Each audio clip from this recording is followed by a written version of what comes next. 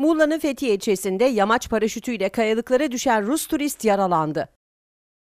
Olay Fethiye ilçesi Ölüdeniz mahallesinde meydana geldi. Edinilen bilgiye göre 47 yaşındaki Rus Sergey Zorin, Babadağ'da bulunan 1200 metrelik yamaç paraşütü pistinden single, tekli atlayış gerçekleştirdi. Zorin bir süre sonra kayalıkların bulunduğu alana düştü. Çevredekilerin 112 acil çağrı merkezinden yardım istemesi üzerine olay yerine jandarma arama kurtarma timi ve UMKE ekipleri sevk edildi.